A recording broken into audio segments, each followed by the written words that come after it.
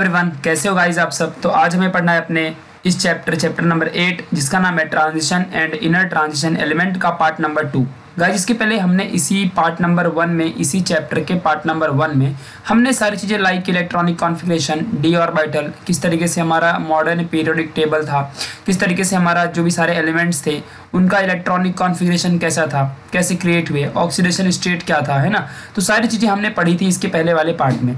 आज हमें देखना है इनकी प्रॉपर्टियों के बारे में। लाइक मतलब हमारी मेटालिक प्रॉपर्टियाँ हैं फ़िज़िकल प्रॉपर्टियाँ भी आप कह सकते हो। फिर किस तरीके से हमारा उनका ऑक्सीडेशन स्टेट तो हमने पढ़ लिया पहले से ही। ठीक है? आयोनिक हमारा जो रेडियस है एटॉमिक रेडियस जो भी है तो ये कैसे क्या इंक्रीज डिक्रीज होता है? फिर हमारी मैग्नेटिक प्रॉपर्टियाँ हैं। कुछ उनके फॉर्मेशन तो ये सारी चीज़ें आज हम पढ़ने वाले हैं ओके सो आप देख रहे हो न्यू इंडियन एरा मेरा नाम है प्रशांत। आप मुझे यहाँ पे चाहो तो फॉलो कर सकते हो।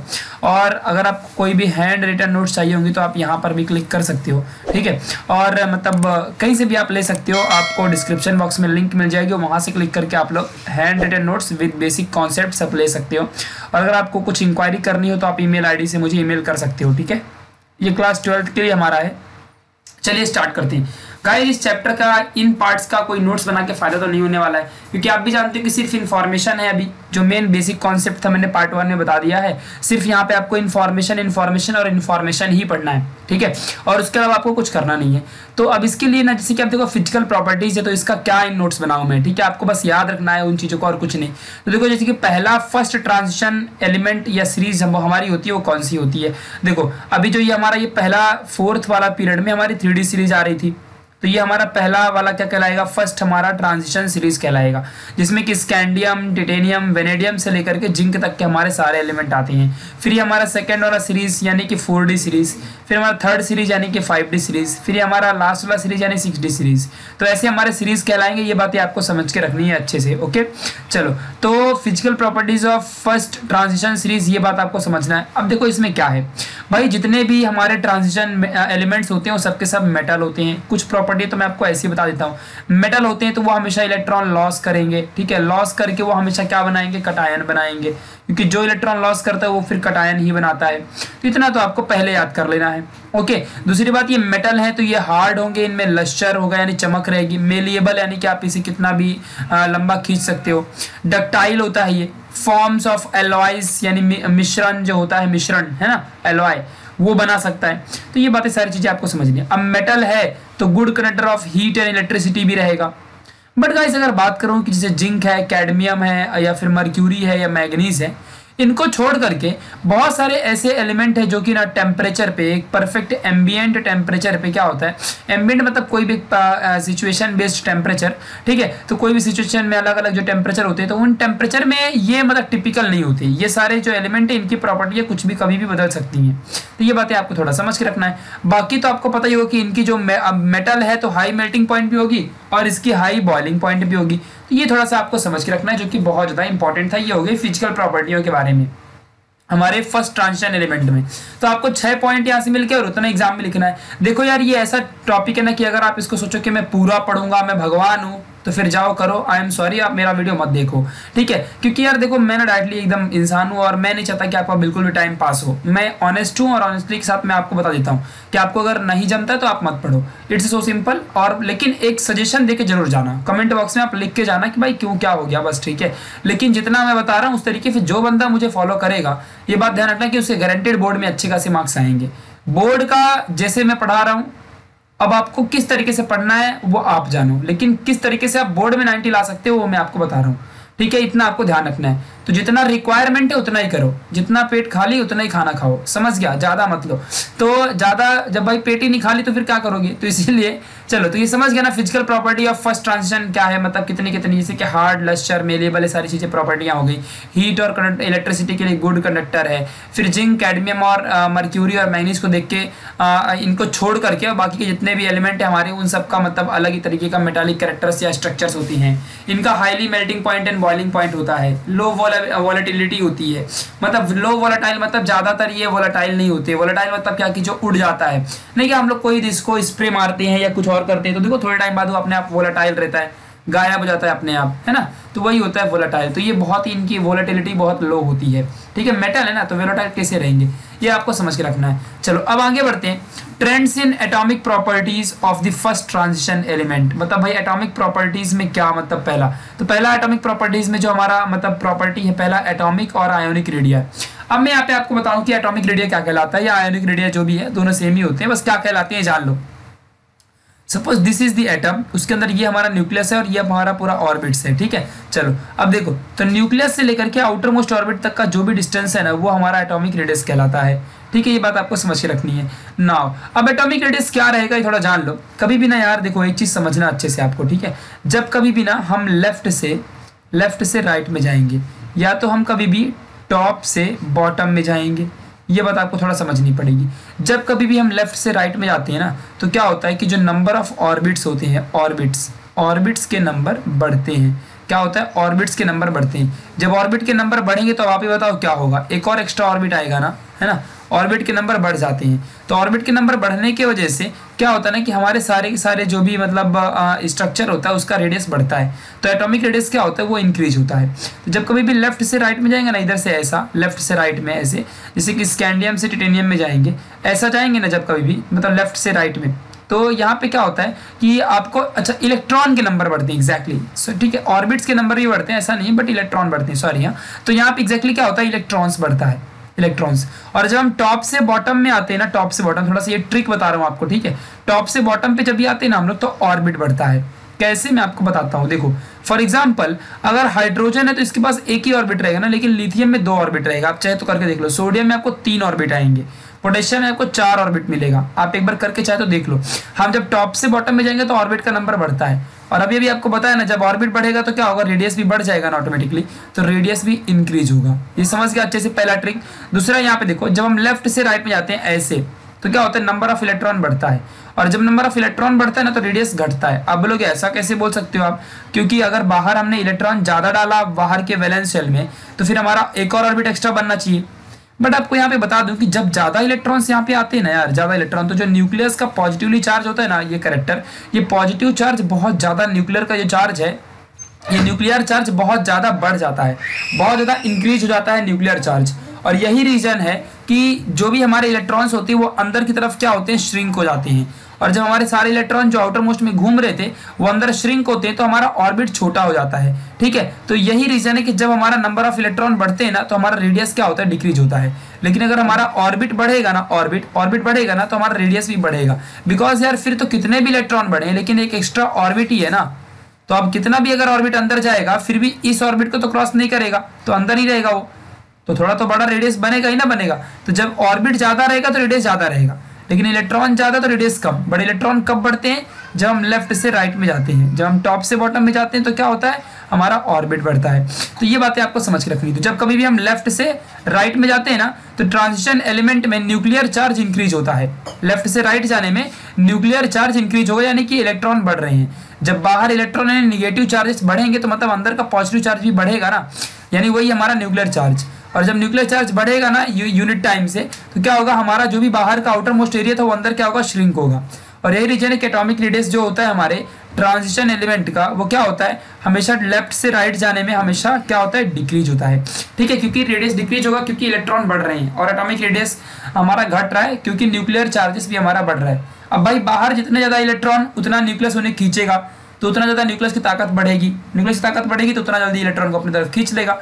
तो रेडियस कमज़ोर हो जाएगा, कम हो जाएगा। यहाँ पे ग्राफ के थ्रू आपको समझाता हूँ। देखो फॉर एग्ज़ाम्पल स्कैंडियम की बात करता हूँ। फिर टिटेनियम वेनेडियम ऐसे जिंक है। ठीक है? तो अब देखो स्कैंडियम सबसे पहले आता है। आपको भी मालूम है स्कैंडियम हमारा सबसे पहले आता है। तो जो हमारा स्कैंडियम है वो स्कैंडियम सबसे टॉप में बिकॉज़ उसका एटॉमिक नंबर ट्वेंटी वन है और वो ज़्यादा रहेगा उसका आ, सारी चीज़ें जो भी है। ठीक है? फिर उसके बाद हमारा सेकंड पे आता है टिटेनियम देखो यहाँ पे कैसा एटॉमिक रेडियस डिक्रीज हुआ है। वाई बिकॉज़ अब देखो हम लेफ़्ट से राइट में गए हैं। अब देखो स्कैंडियम से टिटेनियम जाने के टाइम पे स्कैंडियम से टिटेनियम लेफ़्ट से राइट में आता है। यानी कि स्कैंडियम में 21 इलेक्ट्रॉन है तो हमारे टिटेनियम में 22 है। लेकिन ऑर्बिट बढ़ा क्या? वो जो ऑर्बिट रहेगा उनका चौथा ऑर्बिट वो चार ऑर्बिट ही रहने वाले। है ना? चौथे पीरियड में चार ऑर्बिट रहता है, तीसरे में तीन ऑर्बिट रहता है, ठीक है? तो अभी देखो यहाँ पे क्या टिटेनियम में क्या है यहाँ पे? टिटेनियम में यहाँ पे टोटली क्या बनेगा? टिटेनियम में ज़्यादा इलेक्ट्रॉन बढ़ गया, लेकिन ऑर्बिट उतना ही है। तो क्या होने वाला है कि जब ऑर्बिट बढ़ गए ऑर्बिट यहाँ पे बढ़े नहीं है और इलेक्ट्रॉन उतने ही है तो हमारा क्या होगा? एटॉमिक रेडियस हल्का सा डिक्रीज होगा। वाई बिकॉज़ न्यूक्लियर चार्ज थोड़ा बढ़ेगा। फिर ऐसा करते करते यहाँ तक आएँगे। और देखो हमारे यहाँ पे हल्का सा जिंक तक थोड़ा सा ज़्यादा इंक्रीमेंट होगा वहाँ की तो हमारा लेस ही हुआ है। As compare to scandium zinc का एटॉमिक रेडियस कम होता है। समझ गया? तो ये बातें आपको समझ के रख ली अच्छे तरीके से। ओके okay, क्योंकि ये बहुत इंपॉर्टेंट फैक्ट्स भी है जो कि मैंने आपको बता दिया एटॉमिक रेडियस के बारे में। अब थोड़ा सा आपको टेबल से समझा देता हूँ जिससे कि आपको सब अच्छे से क्लियर हो जाए। फॉर एग्ज़ाम्पल अब देखो इलेक्ट्रॉन ज़्यादा मतलब रेडियस कम ये ट्रिक याद रखना है। और अगर ऑर्बिट ज़्यादा तो रेडियस भी ज़्यादा। ऑर्बिट कब ज़्यादा रहेगा? जब हम टॉप से बॉटम में जाएँगे, है ना, ऊपर से नीचे। और इलेक्ट्रॉन कब ज़्यादा रहेगा? जब हम लोग लेफ़्ट से राइट में जाएँगे। ये ट्रिक याद रखना। अब स्कैंडियम, के बाद टिटेनियम आता है। यानी कि हम अभी कहाँ जा रहे हैं? लेफ़्ट से राइट में। बड़े इलेक्ट्रॉन के नंबर बढ़ रहे हैं। इलेक्ट्रॉन के नंबर बढ़ेंगे ना तो यहाँ पे देखो एटॉमिक रेडियस क्या होगा? पहले वाले में 164 है, दूसरे में क्या 147 है। इस तरीके से हमारा एटॉमिक रेडियस आपको समझ के रखना अच्छे से। ओके? फिर सिमिलरली का हिसाब से बात करूँगा। अब देखो यहाँ पे क्या है। यहाँ पे ये एम के लिए है, फिर ये M two plus M three plus ये तो आप जानते ही रहोगे ना। मतलब कि अगर मान लो एम है तो एक भी इलेक्ट्रॉन लॉस नहीं किया। एम टू प्लस है तो दो इलेक्ट्रॉन लॉस किया एम थ्री प्लस मतलब तीन इलेक्ट्रॉन लॉस किया प्लस मतलब इलेक्ट्रॉन लॉस किया है। फिर ऐसे वेनेडियम है वेनेडियम का देखो 135 ऐसा करते करते आप लास्ट में 137 तक पहुँच जाओगे। तो इस तरीके से आपको अच्छे से मिलेगा सारी चीज़ें जो कि बहुत ज़्यादा इंपॉर्टेंट है। और इस तरीके से आपका एटॉमिक रेडियस या आयोनिक रेडियस डिक्रीज इंक्रीज होते रहता है। ओके ये आयोनाइजेशन इंथैल्पी क्या है? बताऊँगा मैं आपको। बट डेंसिटी जान लो। डेंसिटी मास अपन वॉल्यूम होता है मतलब कितने ग्राम में कितना सेंटीमीटर क्यूब हमारा कोई भी सब्सटेंस अवेलेबल है। तो अब स्कैंडम के लिए इतनी 3.43 वैलेंसी हमारा डेंसिटी है। टिटेनियम का 4.1 है। तो ये सबकी फिक्स होती है अपनी अपनी सब आपको डिटरमाइन करके बस लिख देना होता है। तो बुक वाले ने वही किया है डिटरमाइन करके लिख दिया है। अब याद किसको करना है? बच्चों को। ठीक है, कोई नहीं, कर लो, याद तो करना ही पड़ेगा, वरना फिर एमसीक्यू में आ जाएगा तो प्रॉब्लम हो जाएगी। तो इसे पढ़ लो, आपको अच्छे से सब कुछ समझ में आ जाएगा और सारा कॉन्सेप्ट भी आपका क्लियर हो जाएगा। ओके अब हम बढ़ते हैं आयोनाइजेशन एंथैल्पी की तरफ़। एग्जैक्टली exactly क्या होता है? एंथैल्पी मतलब होता है यार हीट एंथैल्पी का मतलब हीट और आयोनाइजेशन का मतलब क्या? या हीट या एनर्जी आप कह सकते हो। आयोनाइजेशन का मतलब क्या होता है? ये समझो। मान लो कोई भी आपके सामने मान लो एक एलिमेंट है। अब इलेक्ट्रॉन लॉस करेगा, मान लो एक इलेक्ट्रॉन लॉस कर रहा है या फिर एक इलेक्ट्रॉन गेन कर रहा है। अगर एक इलेक्ट्रॉन लॉस कर रहा तो क्या बनेगा वो? ए प्लस बन जाएगा। अगर ये एक इलेक्ट्रॉन गेन कर रहा तो क्या बनेगा? ए माइनस बन जाएगा। यानी ये बन गया हमारा अनायन ये बन गया हमारा कटायन अब यही बात है आपको समझनी कि आयोनाइजेशन क्या कहलाता है। तो कोई भी मान लो हमारा ए नाम का एलिमेंट है तो कोई भी एलिमेंट कितना आयोनाइज हो सकता है? यानी कि ये बना हमारा अनायन ये बना कटायन तो ये कितने आयोनाइज हुए? उसमें कितनी एनर्जी हमें लगी? कितनी अमाउंट ऑफ़ हीट आपको प्रोवाइड करनी पड़ी? वही होता है आपका ionisation enthalpy understood my point ये बात आपको अच्छे समझ रखनी है। और बेसिकली अगर मैं वैसे भी स्ट्रक्चर की बात करूँ तो जानते हो क्या है? स्ट्रक्चर की अगर बात करो ना तो क्या जानते हो? जो भी आयोनाइजेशन एंथैल्पीज होती है ना ट्रांजिशन एलिमेंट की, वो एस ब्लॉक और पी ब्लॉक के बीच में रिलाई करती है। फॉर एग्ज़ाम्पल देखो, ये है हमारा एस ब्लॉक पहला और दूसरा पीरियड और ये हमारा थर्टीन से लेकर एटीन तक का पी ब्लॉक जिसके बीच में हमारा डी ब्लॉक यहाँ पर रिलाई करता है थ्री से लेकर ट्वेल्व तक के बीच में। जो भी इसकी प्रॉपर्टियाँ आती है ना, वो एक्जैक्टली क्या होती है? प्रॉपर्टियाँ जो भी आएँगी। वो प्रॉपर्टी मोस्टली सिमिलर ही होती है, बस थोड़ा सा डिपेंड इधर इधर उधर करता है ओके चलो। सो यही सारी कंडीशन है, और इसमें कोई बड़ी बात तो है नहीं। जैसे कि आप जानते हो कि अभी अभी हमने देखा कि एस ब्लॉक और पी ब्लॉक की जो भी प्रॉपर्टियाँ होती है आयोनाइजेशन की, उसी के बीच में हमारा रिलाय करता है ट्रांजिशन एलिमेंट की प्रॉपर्टियाँ ठीक है? अब देखो, ये डिपेंड करता है कि यार कोई भी एलिमेंट जो भी हमारे रहते हैं, वो कौन सा बॉन्ड बनाते हैं। अब देखो, मान लो कोवेलेंट बॉन्ड कोई कोई एलिमेंट बनाता है कोई कोई आयोनिक बॉन्ड बनाता है ना? तो ये डिपेंड करता है कि कौन सा एलिमेंट हमारा कौन सा बॉन्ड बनाता है। तो इस चीज़ के बारे में हम समझते हैं। अगर मैं कोवेलेंट की बॉन्ड की कोवेलेंट बॉन्ड की अगर मैं बात करता हूँ तो क्या होता है ना कि अगर मान लो हर एक एलिमेंट मान लो स्कैंडियम है, टिटेनियम है तो ये सारे एलिमेंट ना अपने अपने जगह में क्या करते हैं, इनका अपना अपना ऑक्सीडेशन स्टेट होता है। फॉर एग्ज़ाम्पल स्कैंडियम का प्लस टू भी है और इसका प्लस थ्री भी है है ना? एफ़ टिटेनियम के और भी बहुत सारे प्लस टू है प्लस थ्री है प्लस फोर है। सभी के अपने अपने ऑक्सीडेशन स्टेट होते हैं, है ना? तो अब देखो क्या होता है ना कि अगर मान लो किसी भी एलिमेंट का लोअर ऑक्सीडेशन स्टेट है तो वो बेसिकली क्या करता है आपको समझना अच्छे से, बहुत ज़्यादा इंपॉर्टेंट भी तो वो बेसिकली आयोनिक कंपाउंड बनाता है। और अगर किसी का हायर ऑक्सीडेशन स्टेट रहता है ना तो वो हमारा क्या बनाता है? कोवेलेंट बॉन्ड बनाता है। अब इसी बेसिस पे हमारा आयोनाइजेशन एंथैल्पी बनती है। अब आपको मालूम होगा कि जो हमारा आयोनिक बॉन्ड होते हैं, वो ज़्यादा स्ट्रॉन्ग होते हैं, क्योंकि इनके बीच में इलेक्ट्रोस्टैटिक फोर्स ऑफ़ अट्रैक्शन होता है। और कोवेलेंट बॉन्ड में हमारे, हमारा जो मतलब मतलब बॉन्ड होता है, वो as compare to ionic compound वो थोड़ा स्ट्रॉन्ग नहीं होता है। तो यही रीजन है हमारे कोवेलेंट कंपाउंड के लिए कि इसकी जो आयोनाइजेशन एंथैल्पी होती है, जो कोवेलेंट बॉन्ड का इस्तेमाल करके बॉन्डिंग करते हैं या कंपाउंड बनाते हैं, उनकी आयोनाइजेशन एंथैल्पी जो होती है, वो थोड़ी सी कम होती है। और आयोनिक कंपाउंड से जो बनाती है, उनकी आयोनाइजेशन एंथैल्पी ज़्यादा होती है। तो ये रीजन है, बस ये आपके बुक में बहुत ज़्यादा घुमा के दिया, मैंने आसान भाषा में आपको समझा दिया। फॉर एग्ज़ाम्पल एक ग्राफ ड्रॉ करके देख लो यहाँ पे देखो ग्राफ क्या दिया हुआ है। पहला देखो आपके सामने यहाँ पे देख रखा है जो फ़र्स्ट आपका आ, मतलब एलिमेंट है उस हिसाब से आपको बताया गया कि देखो जैसे टिटेनियम है फिर वेनेडियम है क्रोमियम है फिर यहाँ पे देखो मैग्नीज फिर यहाँ पे देखो आपका ये आयरन फिर कॉपर फिर इस तरीके से आपका प्लाडियम देन यहाँ पे आपका यहाँ पे सिल्वर ठीक है? तो इस तरीके से क्या हुआ? ये पहले वाले सीरीज़ का है। फिर सेकंड सीरीज़ जर्कोनियम है ना? जो भी अब मेरे को खुद ही नाम बहुत सारे नहीं मालूम है, क्योंकि उतने सारे याद नहीं करने। और आपके ट्वेल्थ तक के सिलेबस में ना जितना भी दिया हुआ है तो सब आपको समझ के रखना है। तो इतने सारे आपको याद क्यों करना है? मतलब देखो, जितनी सारी इंपॉर्टेंट कोई भी एक साइंटिस्ट को भी सारे नाम याद नहीं रहेंगे। 118 थोड़ी याद करने होते यार। ठीक है? याद करना ही नहीं है मतलब सिर्फ़ आपको 30 तक ज़रूरत है। मैंने आपको बोल दिया ना आपके पूरे ट्वेल्थ में। तो ऐसे सारे एलिमेंट का यहाँ पे ग्राफ बनाया हुआ है as compare to ionisation enthalpy किसी कितनी आयोनाइजेशन एंथैल्पी उस हिसाब से ग्राफ बनाया कि अब मान लो टिटेनियम की थोड़ी इतनी है 600 और 700 के बीच में कुछ समथिंग है। वेनेडियम की थोड़ी उससे कम है क्रोमियम की थोड़ी उससे ज़्यादा है मैग्नीज की और है आयरन की और है कोबाल्ट कुछ और है प्लेडियम की कुछ और है है ना? सिल्वर की कुछ और है कॉपर तो दूसरे सीरीज़ में आगे मान लो। समथिंग ऐसा आपको देख के रखना है सारी चीज़ें, जो भी है। ठीक है, फिर निकल यहाँ पे है। फिर ऐसा ऐसा कर रुदर फोडिया में, है ना, ऐसे ऐसे आपके सामने सारी चीज़ें अवेलेबल है। तो ट्रांजिशन मेटल यहाँ पे दिया हुआ है, जिसके जितने आयनिशन एंथैल्पी है, उतना दिया है। अब आप बोलोगे, ये कहाँ से आया? तो ये तो भाई प्रैक्टिकली निकालना पड़ता है। तो आप ये मत पूछो कि कहाँ से लिख रहे हो आप लोग। है ना हीट है, वो कितना अवेलेबल है उसके ऊपर डिपेंड करता है। वो तो हमको प्रैक्टिकली परफॉर्म करना पड़ता है। उस हिसाब से यहाँ पे ग्राफ ड्रॉ किया है। आपको ये ग्राफ याद करने की ज़रूरत नहीं है। ठीक है, आप देखो, यहाँ पे देखो, अच्छे समझ लो, एक चीज़ और। अब देखो ना, कैसे, क्या होता है कि मान लो मेरे पास एक कोई एलिमेंट है। मान लो मेरे पास एल्यूमिनियम है। ठीक है, अब एल्यूमिनियम में two comma eight comma three इसका इलेक्ट्रॉनिक कॉन्फ़िगरेशन है। अगर मैं इसे एक ही इलेक्ट्रॉन निकालू तो ये क्या बनेगा? ए एल प्लस अगर मैं तो अगर जब एक इलेक्ट्रॉन निकालूँगा तो क्या बन जाएगा? टू एट टू बन जाएगा। एक और निकाले तो क्या बनेगा? ए एल टू प्लस यहाँ पे इसका क्या बनेगा? Electronic configuration two eight one और एक और निकालो तो क्या बनेगा? एल थ्री प्लस है ना? तो मान लो मेरा पहला आयोनाइजेशन एंथैल्पी ये दूसरा है, ये तीसरा हो जाएगा। अब इसको निकालने में कितना हमको हीट या फिर एनर्जी अवेलेबल लगी? कितना हमको अप्लाई करना पड़ा?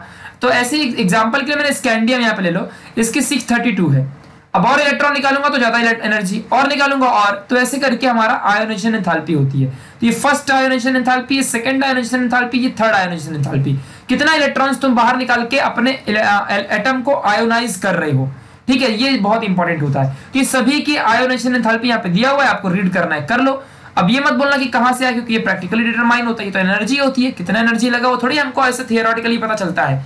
वो तो प्रैक्टिकली पता चलता है। तो ये बातें थोड़ा सा आपको अपने दिमाग में बिठा कर रखनी है। ओके? अब आगे बढ़ते हैं मेटालिक कैरेक्टर की तरफ़ चलते हैं। कोई भी चीज़ का मेटालिक कैरेक्टर कैसे होता है, किसके ऊपर डिपेंड होता है? यार मैं आपको बता दूँ कि कोई भी दुनिया में चीज़ हो, उसका मेटालिक करेक्टर मेटालिक बॉन्ड के ऊपर डिपेंडेंट होता है। किसके ऊपर डिपेंड होता है? मेटालिक बॉन्ड और अगर मैं ट्रांसजेंड एलिमेंट की बात करूँ ना तो क्या होता है ना कि इनकी पहली बात तो भाई बहुत लो आयोनाइजेशन एंथैल्पी होती है। ये जो वहाँ पर दिया है वो लोही थी। ज़्यादा नहीं है। और इनका डी ऑर्बिटल हमेशा वैकेंट रहता है। मतलब कि यार डी ऑर्बिटल में कितने आ, मतलब घर होते हैं? पाँच घर होते हैं। ठीक है? अब ये ऐसे अगर फ़ील्ड है तो मतलब ऐसे रहना चाहिए। लेकिन ये क्या होता है ना कुछ कुछ ऐसे खाली रहते हैं। ठीक है? मतलब सारे भरे नहीं होते हैं। तो डी ऑर्बिटल क्या रहता है? यहाँ पे वैकेंट रहता है। और यही रिस्पॉन्सिबल होते हैं यही दोनों करेक्टर लो आयोनाइजेशन एंथैल्पी और वैकेंट डी ऑर्बिटल की ये ट्रांजिशन एलिमेंट भी इनके पास ही मेटालिक करेक्टर होता है। क्योंकि जब कंडीशन ऐसी आती है ना कि इनके ऑर्बिटल वैकेंट है तो इनको इलेक्ट्रॉन की ज़रूरत पड़ती है, या खुद कभी कभी इलेक्ट्रॉन ये लॉस कर देते हैं। तो ऐसी कंडीशन में फ़िलहाल ये मेटल है तो इलेक्ट्रॉन लॉस ही करेंगे। ठीक है तो जब इलेक्ट्रॉन ये खुद लॉस कर देते हैं ना तो ये एक बॉन्ड बनाते हैं जिसे कहते हैं मेटेलिक बॉन्ड और जिस भी एलिमेंट के पास मेटेलिक बॉन्ड होता है तो उसके पास मेटेलिक करेक्टर अपने आप आते हैं like hard lustre malleable ductile good conductor of electricity heat ये सारी चीज़ें अपने आप आ जाती हैं। और बाकी तो आप जानते हो कि यहाँ पे penultimate shell N minus one D होता है, जो कि अनपेयर्ड ही रहते हैं।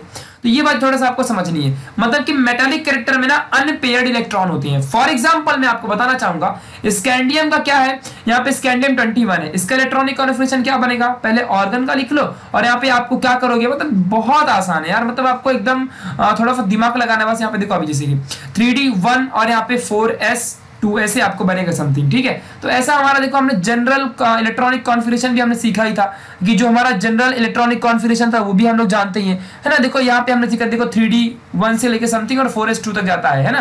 तो ये चीज़ें हम सबने सीख रखी है। अब आपको भूल गया तो ये फिर क्या है? याद है तो आबाद है भूल गया तो बर्बाद है, ठीक है? तो देखो, क्या बनता है? थ्री डी वन और ये फोर एस टू ऐसे समथिंग इसका इलेक्ट्रॉनिक कॉन्फ़िगरेशन बनता है, ठीक है? अब ट्वेंटी वन है तो यहाँ पे पहला। फिर अगर मान लो, यहाँ पे टिटेनियम का आता ना तो यहाँ पे थ्री हो जाता। तो अब देखो यहाँ पे मैं क्या बोल रहा हूँ वैकेंट की जो मैं बात कर रहा हूँ तो क्या होगा? देखो, पहले में क्या है हमारा एस ऑर्बिटल फिर उसके बाद हमारा क्या बनेगा? पी ऑर्बिटल ठीक है? ये पी ऑर्बिटल भी हमारा फ़ील्ड होता है, सारे के सारे इसमें पी अब देखो यहाँ पे बनेगा डी ऑर्बिटल जिसमें ये कितने खाने रहेंगे? पाँच, ठीक है? ऐसे एक, दो, तीन और एक, चार, पाँच, ठीक है? ऐसे बना दो। ना, अब देखो इसके अंदर इलेक्ट्रॉन फिल करो। अब देखो थ्री डी वन में क्या है? आपके पास यहाँ पे अवेलेबल कितना है? वन ही इलेक्ट्रॉन है ना? देखो यहाँ पे वन इलेक्ट्रॉन ओनली अवेलेबल है। और वो भी क्या है? अनपेयर्ड ये क्या है? अनपेयर्ड पेयर्ड जो तो क्या बोलता है? ये और एक ऐसा ये। ये पेयर्ड इलेक्ट्रॉन कितने हैं? दो हैं, लेकिन पेयर्ड ऐसे में तो यहाँ पे एक ही इलेक्ट्रॉन है, वो भी अनपेयर्ड है। समझा अनपेयर्ड इलेक्ट्रॉन कैसे होता है? फॉर एग्ज़ाम्पल अगर मैं आपको बोलूँ कि क्रोमियम का बताओ कितना होगा? Chromium atomic number twenty four ठीक है? चलो बताओ क्या होगा? तो यहाँ पे क्या करोगे पहले? ए आर ऑर्गन का और यहाँ पे थ्री और क्रोमियम चौथे नंबर में आता तो यहाँ पे चार और फोर एस टू मैंने आपको सिखाया था ना, जितने नंबर में आएगा थ्री के ऊपर उत्तर देना और लास्ट में फोर एस टू दे देना। है ना? तो अब देखो यहाँ पे इसका बनाते हैं। तो बाकी तो ये सब सेम रहेगा, ये भी सब सेम रहेगा। यहाँ पे आ जाओ डायरेक्टली ठीक है, यहाँ पे एक, दो, तीन, चार। ठीक है? बन गए पाँच खंधे फिल करो। डी में कितने इलेक्ट्रॉन है यहाँ पे? चार है। तो चार डालो। एक, दो, तीन, चार। डाल दिया चार। कितने यहाँ पे अनपेड इलेक्ट्रॉन मिल गए? चार अनपेड इलेक्ट्रॉन मिल गए।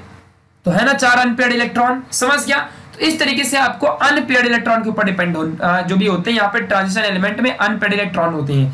इतना समझना अभी क्यों बता रहा हूँ कि अनपेड इलेक्ट्रॉन है? कोई तो रीजन होगा ना यार। तो इस, इसलिए बता रहा हूँ क्योंकि कभी भी आपने अच्छा आपका सॉलिड स्टेट में अगर रिड्यूस कर दिया सिलेबस को तो अच्छी बात है बट फिर भी आपको पढ़ना है। तो मैग्नेटिक प्रॉपर्टियाँ जो होती है ना यार ये डिपेंड होती है किसी भी एलिमेंट के अनपेड इलेक्ट्रॉन के ऊपर। किसके ऊपर डिपेंड होता है? अनपेड इलेक्ट्रॉन के ऊपर। अब कितने नंबर ऑफ़ अनपेयर्ड एटम्स या आयोन्स या इलेक्ट्रॉन्स प्रेजेंट है, उस बेसिस पे किसी भी एलिमेंट की मैग्नेटिक प्रॉपर्टी क्रिएट होती है। समझ गया? तो देखो क्या होता है ना, कि अगर मान लो किसी भी एलिमेंट अगर मान लो कोई भी एलिमेंट है आपके पास सामने, और हमने पढ़ा हुआ था मैग्नेटिक प्रॉपर्टियाँ तीन टाइप की होती हैं, है ना? फ़िलहाल तो दो टाइप की याद रखो कि एक पैरामैग्नेटिक है, एक डायमैग्नेटिक है ना? देखो तो क्या सीखा था हमने अगर कोई भी एलिमेंट को अगर आप मैग्नेटिक फ़ील्ड अप्लाई करते हो किसी भी एलिमेंट में अगर आप मैग्नेटिक फ़ील्ड अप्लाई करते हो, उस मेटल के सामने मैग्नेटिक फ़ील्ड लेकर के आते हो। तो अगर हमारा वो एलिमेंट मान लो ये ऑब्जेक्ट है और इसके, इस ऑब्जेक्ट को आप मैग्नेटिक फ़ील्ड के पास लेकर के जा रहे हो। तो अगर ये ऑब्जेक्ट अंदर अट्रैक्टेड हो गया तो समझ जाना ज़्यादा अट्रैक्टेड अगर हो गया तो ये पैरामैग्नेटिक कहलाएगा। और अगर रिपल किया मतलब ये अट्रैक्ट ना होकर रिपल कर दिया तो वो हमारा डायमैग्नेटिक सब्सटेंस कहलाएगा। समझ गया? और अगर मान लो कुछ ज़्यादा ही अगर उसने मतलब अट्रैक्टेड किया, कुछ ज़्यादा ही अट्रैक्शन किया तो वो हमारा फेरोमैग्नेटिक कहलाएगा। तो पैरा डाई और फेरो ये तीन तरीके के मैग्नेटिक प्रॉपर्टियाँ होती किसी भी एलिमेंट की। अगर नॉर्मल अट्रैक्शन हुआ तो पैरामैग्नेटिक अगर मान लो रिपल किया तो डायमैग्नेटिक ज़्यादा अट्रैक्शन किया तो फेरोमैग्नेटिक समझ गया? तो ये बातें आपको समझ के रखनी है। अब मान लो जैसे कि स्कैंडियम से लेकर जिंक तक हमने सारे एलिमेंट देखे हैं। तो इनमें से जो आयरन कोबाल्ट और निकल है, इन ये तीनों फेरोमैग्नेटिक होते हैं, ये बात आपको समझ के रखनी है। और बाकियों का कुछ आपको उससे मतलब नहीं है। बाकी तो कोई भी हो सकते हैं बट ये तीनों हमेशा फेरोमैग्नेटिक रहेंगे। बिकॉज़ ये खतरनाक तरीके से क्या होते हैं? अट्रैक्शन करते हैं। आयरन हो चाहे निकल हो, ये तीनों बहुत, देखो ना आयरन कितना खतरनाक तरीके से अट्रैक्शन करता है टुवर्ड्स दी मैग्नेट और मैग्नेटिक फ़ील्ड है ना? तो ये तीनों फेरोमैग्नेट है, जो बहुत खतरनाक तरीके से जल्दी अट्रैक्शन करते हैं। ये रियल में मैग्नेट की प्रॉपर्टियाँ इनमें दिखती हैं। ठीक है? अब आगे बढ़ते हैं, देखो। अब क्या होता है ना यार कि अगर कोई भी मान लो एलिमेंट है, अगर उसके पास अनपेड इलेक्ट्रॉन अवेलेबल है अनपेड इलेक्ट्रॉन उसके पास अवेलेबल है तो ये तो पक्की बात है कि उसके पास मैग्नेटिक मोमेंट भी होगा। बिकॉज़ अनपेड इलेक्ट्रॉन स्पिन करते हैं। आपने देखा होगा ना? मान लो अगर एक इलेक्ट्रॉन है तो वह इधर स्पिन करेगा, दूसरा इलेक्ट्रॉन इधर स्पिन करता है। सारे सारे इलेक्ट्रॉन जो प्रेजेंट होते हैं किसी भी सब्सटेंस या मेटल में, वो हमेशा याद रखना कि स्पिन करते हैं। और जब स्पिन करते हैं तो हमेशा कौन से इलेक्ट्रॉन होते हैं? वो अनपेड ही रहते हैं। तो अगर किसी के पास अनपेड इलेक्ट्रॉन अवेलेबल है तो स्पिन करेगा। जब स्पिन करेगा तो मैग्नेटिक मोमेंट क्रिएट होगा। तो अब इसका प्रूफ तो आपकी बुक में कहीं दिया नहीं है, और सीधा लिख दिया आपकी किताब में, आपकी टेक्स्ट बुक में, कि इसका कॉन्सेप्ट बियॉन्ड दी बुक है। ऐसे एटॉमिक रेडियस में भी लिख दिया, आप चाहे तो जाके पढ़ लो। लिख दिया कि ये कॉन्सेप्ट आपको डिग्री में मिलेगा बियॉन्ड दी बुक है इस कॉन्सेप्ट में, इस बुक के बियॉन्ड है। मतलब इस बुक में आप नहीं पढ़ सकते उस चीज़ को, आपके साथ ही प्रैंक होता है बुक में कभी कभी तो इसका डायरेक्टली यहाँ पे आपको फॉर्मूला दिया है। फॉर्मूला में क्या दिया कि म्यू ये इसका नाम म्यू है एम यू म्यू ये म्यू क्या है? अपना मैग्नेटिक मोमेंट है। ये हमारा जो म्यू है, ये हमारा मैग्नेटिक मोमेंट कहलाता है, किसी भी सब्सटेंस का। कितना होता है? Is equal to root N into N plus two B M B M तो ये यूनिट है बोर मैग्नेटॉन ठीक है, ये यूनिट है, लेकिन जो एन है हमारा नंबर ऑफ़ अनपेयर्ड इलेक्ट्रॉन्स कहलाता है, और म्यू हमारा मैग्नेटिक मोमेंट फॉर एग्ज़ाम्पल अगर मैं आपसे पूछूँ सपोज़ दैट अगर मैं ऐसे ही आपसे पूछ लू कि आयरन का बताओ कितना होगा। तो देखो, मैं आपको बताता हूँ। आयरन का एटॉमिक नंबर होता है ट्वेंटी सिक्स और अगर मैं इसके बारे में लिखना स्टार्ट करूँ तो इसका electronic configuration three D six और फोर एस टू ऐसे बनेगा। इसका मैं अगर इलेक्ट्रॉनिक कॉन्फिग्रेशन ऐसे दिखाऊँ इलेक्ट्रॉन इलेक्ट्रॉन्स को फिल करके तो ये दोनों तो पक्का फ़ील्ड रहेंगे, ऐसे देखो दोनों यहाँ पे पेयर में एकदम फ़ील्ड है। लेकिन जब डी के पास जाऊँगा तो यहाँ पे देखना क्या बनेगा। ये थोड़ा सा आपको समझना है ओके देखो, अब कितने इलेक्ट्रॉन डी के पास अवेलेबल है? छह। तो पहले तो हमको डायरेक्टली भरना होता है ऐसे। फिर हम सेकेंड राउंड में आएँगे तो कितने? पाँच भर दिया और एक यहाँ पे भर दिया। तो अनपेयर्ड कितने बचे? अनपेयर्ड कितने इलेक्ट्रॉन बचे? चार इलेक्ट्रॉन अनपेयर्ड बचे। है ना? तो mu is equal to root four into four plus two. और यहाँ पे क्या डालोगे? बस इसको सॉल्व करो। तो यहाँ पे क्या आएगा? फोर और फोर प्लस टू सिक्स, चौबीस। Root twenty four. इसको सॉल्व करो। जो आंसर आएगा, वो आपके आयरन का क्या होगा? मैग्नेटिक डाइपोल मोमेंट या मैग्नेटिक मोमेंट। समझ गया? तो ये अनपेड इलेक्ट्रॉन कैसे निकालने मालूम है ना? तो सिक्स है ना, पहले सिक्स को एक एक करके भरने का। फिर जो बचा तो उसको अगेन पेयरिंग करके भरना होता है। है ना? ये हमने सीखा था स्ट्रक्चर ऑफ़ एटम में। ऐसा। तो आप किसी का भी निकलवा सकते हो। अब मैं आपको यहाँ पे दिखाता हूँ। देखो, बहुत सारा यहाँ पे दिया हुआ है। अगर मान लो स्कैंडियम का बोला तो अब देखो, क्या है ना कि आपको थोड़ा सा याद रखना पड़ेगा एक चीज़ को। एक चीज़ क्या वो तो आपको याद ही है। मान लो किसी का इलेक्ट्रॉनिक कॉन्फ्रेशन है तो ऑर्गन से लेके थ्री डी वन से लेके टेन तक और फोर से लेके टू तक ऐसे आता है। है ना? अब स्कैंडियम मान लो थ्री प्लस बोल दिया। तो मतलब क्या है कि अब स्कैंडियम का तो पहले से ही क्या होता है? थ्री डी और वन और फोर एस टू रहता है। तो दो एस से और एक यहाँ पे डी से निकाले मतलब तीनों निकल गए। तो यहाँ पे क्या बनेगा? थ्री डी ज़ीरो बन गया। अब ज़ीरो यानी कि अनपेयर्ड कितने इलेक्ट्रॉन बाकी है? तो स्कैंडियम से तीन इलेक्ट्रॉन तो तुमने वैसे भी निकाल दिए तो कुछ बचे ही नहीं अनपेयर्ड। सब ज़ीरो, अभी देखो ना, डी के पास ज़ीरो है। मतलब there is no electron on D orbital in the case of scandium three plus I am not talking about scandium only I am talking about scandium three plus it means that scandium is lost lost its three electrons to other element ठीक है? तो जब इसने तीन electron अपने पहले से loss कर दिए तो जो डी ऑर्बिटल के पास इलेक्ट्रॉन है, वो ज़ीरो हो गए। तो इसके पास पेयर की क्या अनपेयर इलेक्ट्रॉन कुछ भी नहीं बचे इसके पास ज़ीरो है। अगर मैं टिटेनियम की बात करूँ तो इसका क्या बनेगा? थ्री डी ध्यान देना चाहिए टू फोर एस टू अब ये थ्री प्लस है मतलब इलेक्ट्रॉन एस से दो और डी से एक इलेक्ट्रॉन गायब कर दिया मतलब एक इलेक्ट्रॉन बचेगा। यानी कि एक यहाँ पे क्या हो गया? हमारा अनपेयर्ड ऐसे ही वेनेडियम का क्रोमियम का। मैं आपको बताता हूँ मैग्नीज का क्या आएगा। यहाँ पे देखो मैग्नीज का क्या होता है? One two three four five six अच्छा मैग्नीज यहाँ पे कितने नंबर पे भाई? छठवें नंबर में। जो भी है, अब अपने को अपने को एटॉमिक नंबर याद रखना है। जो भी आपका एटॉमिक नंबर है उसको आपको याद रखो। बाकी से आपको क्या करना है? ठीक है? अब मैग्नीज का देख लो कितना यहाँ पे दिया हुआ है। तो देखो, एकदम बेस्ट तरीके से आपको बताता हूँ मैं। देखो थ्री और यहाँ पे आपके सामने फाइव है। और पाँचवें नंबर में एक्जैक्टली अगर मैं क्रोमियम की बात करूँ, आता है यहाँ पे क्रोमियम जो यहाँ पे दो बार दिया ना, इसलिए उसको मैंने हटा दिया, एक ही बार काउंट किया है। ये पाँचवें नंबर में आता है मैग्नीशियम हमारा। देखो मैं आपको यहाँ पे दिखा भी देता हूँ, अगर आपको मॉडर्न प्रोडक्ट टेबल में आ जाओ तो। देखो यहाँ पे one two three four five देखो पाँचवें नंबर में मैग्नीज है। समझा अच्छे से मैं जो बोल रहा हूँ? ओके तो पाँचवें नंबर में मतलब थ्री आएगा। और ये हो गया फोर अब देखो, कितना मैग्नीज यहाँ पे टू प्लस लिखा मतलब दो इलेक्ट्रॉन लॉस किया है। तो दो इलेक्ट्रॉन प्लस मतलब लॉस किया ना, दो इलेक्ट्रॉन लॉस कर रखा है, पहले तो कितने बचे? पाँच। देखो यहाँ पे थ्री फाइव आ गया। अब इसको लिख के फ़ायदा नहीं, क्योंकि ज़ीरो है। तो अब देखो, इसका अगर मैं बनाऊँ ऐसे, ये डी ऑर्बिटल है ना? ऐसे डी ऑर्बिटल बनाऊँ तो पाँच ही है ना डी में? तो एक भर दिया, दो भर दिया, तीन भर दिया, चार भर दिया और ये पांचवा भर दिया। अब पेयरिंग तो हो ही नहीं पा रही, पाँच तो पहले ऐसे भर गए। अब पेयरिंग कहाँ से करूँ? तो पेयर नहीं है। ओनली पाँच यहाँ पे क्या है? अपने पास अनपेड इलेक्ट्रॉन है। फॉर एग्ज़ाम्पल निकल की बात करता हूँ। देखो, अभी निकल की मैं आपको बात करके दिखाता हूँ। देखो, कैसे आपको समझेगा। ठीक है? देखो, निकल का एटॉमिक नंबर जानते कितना होता है? देखो, अभी फेकोनी कॉपर जिंक यानी कि आपको इसका मिलेगा ट्वेंटी सेवन समथिंग ठीक है? ट्वेंटी एट मिलेगा ट्वेंटी एट ठीक है तो अभी निकल का ट्वेंटी एट है। अब देखो, आपको बताता हूँ कैसे आएगा। अब निकल में क्या बनेगा? ऑर्गन थ्री डी आठवें नंबर में तो एट और फोर एस टू है ना? अब इसका देखो फिल करते हैं। पहला एस ऑर्बिटल फ़ील्ड होता है, हमेशा याद रखना, और ये पी ऑर्बिटल भी हमेशा फुल रहते हैं। हमको डी में सिर्फ़ बात करनी होती है, क्योंकि डी का ही हमारा वैकेंट ऑर्बिटल होता है, हमने देखा भी था। देखा था कि नहीं देखा था? याद है तो आबाद है, भूल गए तो बर्बाद है। अब देखो, यहाँ पे कितने आठ है? तो पहले भरो एक, दो, तीन, चार, पाँच। भरने का तरीका सीख लो। पाँच हो गए, फिर छह सात, आठ। भर दिया तो कितने अनपेड बचे? दो अनपेड बचे। देखो यहाँ पे क्या है, निकल में दो अनपेड इलेक्ट्रॉन समझा क्या? तो इस तरीके से आपको थोड़ा सा दिमाग लगाना पड़ेगा, हल्का सा दिमाग लगाना है और ज़्यादा कुछ करना नहीं है। समझ के रखो आप लोग इस चीज़ को, ओके? क्लियर हुआ कि नहीं हुआ पॉइंट मैं जो बोल रहा हूँ। क्लियर हुआ ना? तो यहाँ पे देखो, यहाँ पे क्या है? निकल के पास दो अनपेड इलेक्ट्रॉन है। तो बस आपको ये बनाने आना चाहिए। अब ये कैसे आएगा जब आप इस वीडियो का पार्ट नंबर वन देखोगे? अगर आप पार्ट नंबर वन नहीं देखोगे तो आपको कभी नहीं समझेगा। क्योंकि ये सब कैसे करते, सब मैंने आपको सिखा रखा है।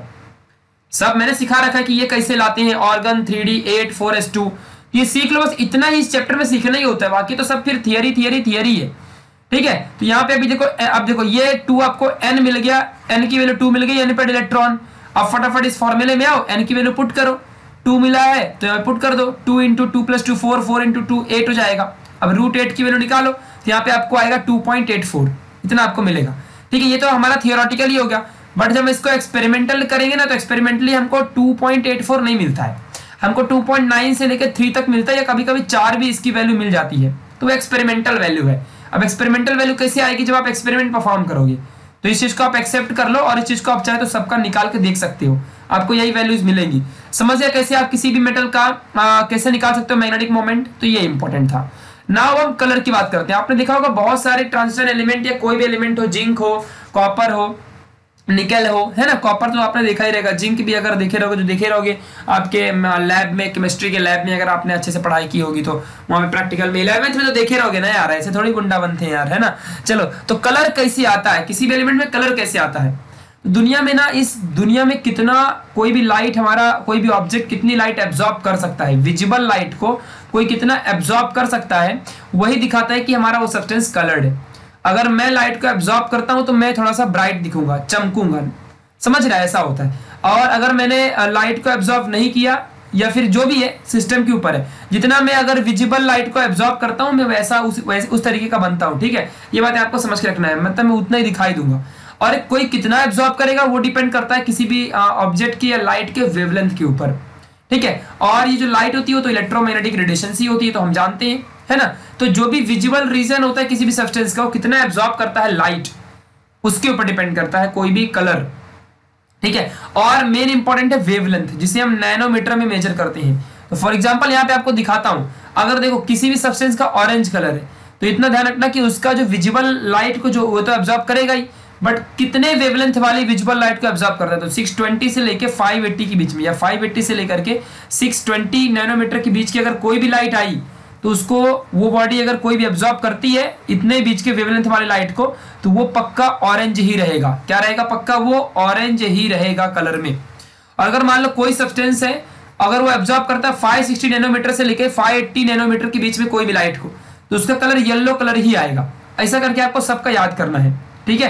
कि कितने रेंज के बीच में कौन सा कलर आता है? तो एग्ज़ाम में पूछेगा कि अगर किसी सब्सटेंस है और वो आपका 400 से लेकर के या 8 नैनोमीटर या 8 800 नैनोमीटर या 430 से लेकर कितना भी अगर वो मेजर करता है तो उसका कलर कितना आएगा? ठीक है? तो यही चीज़ें थोड़ा सा आपको समझनी है और आपको कलर सारे याद करके जाने कितने रेंज में, कितने वेवलेंथ में कितना कलर मिलता है। तो इस चीज़ को थोड़ा सा आपको समझना है। कलरेशन गाइज़ किसी भी सब्सटेंस के लिगेंड उसकी ज्योमेट्रिक कॉम्प्लेक्स प्रॉपर्टियाँ इनके ऊपर डिपेंड करता है। आप बोलोगे लिगेंड क्या है?